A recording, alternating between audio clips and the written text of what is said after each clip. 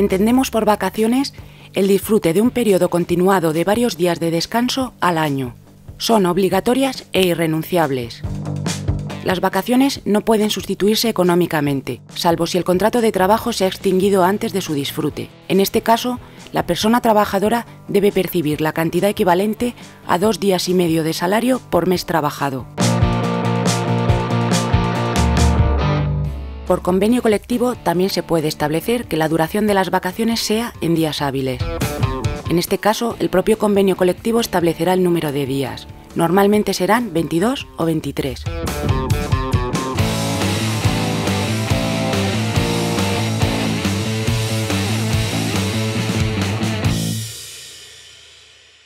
Las vacaciones hay que disfrutarlas durante el año natural, aunque existen algunas excepciones.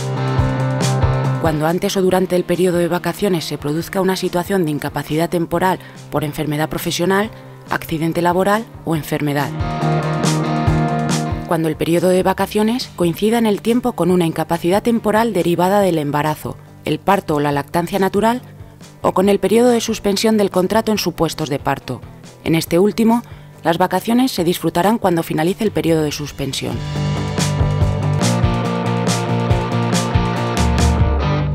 Las fechas para el disfrute de las vacaciones se fijan por acuerdo entre la empresa y la persona trabajadora, de acuerdo a lo establecido en convenio colectivo si lo hubiera. En caso de fraccionamiento de las vacaciones, una de las fracciones deberá consistir, por lo menos, en 14 días naturales ininterrumpidos. Si no hay acuerdo entre las partes, no es aconsejable tomarse las vacaciones por cuenta propia, ya que se consideraría ausencia injustificada. Se puede demandar a la empresa dos meses antes de la fecha deseada por el trabajador o trabajadora y resolverlo judicialmente a través de un proceso preferente. La plantilla deberá conocer las fechas de vacaciones dos meses antes de su disfrute. Existe una obligación empresarial de facilitar al personal la distribución de su tiempo libre, no pudiendo modificar unilateralmente el periodo establecido por necesidades de la empresa ni alterarlo injustificadamente, en cuyo caso sería posible iniciar una reclamación de daños y perjuicios por incumplimiento empresarial. La empresa puede excluir del calendario de vacaciones el periodo de mayor productividad, previa consulta con la representación de la plantilla. No es necesario un consentimiento, pero si no existe dicha consulta, la decisión empresarial será nula.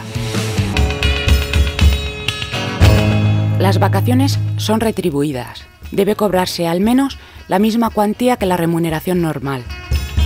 El convenio colectivo puede determinar las retribuciones de las vacaciones, así como las llamadas bolsas de vacaciones. Los mayores conflictos se plantean en relación con los complementos salariales. La jurisprudencia tiende a remitir al convenio colectivo estos complementos. En caso de que el convenio no regule nada, viene inclinándose por el cómputo total de los conceptos que normalmente suele percibir el trabajador o trabajadora. Durante las vacaciones, la persona trabajadora tendrá derecho a los siguientes complementos.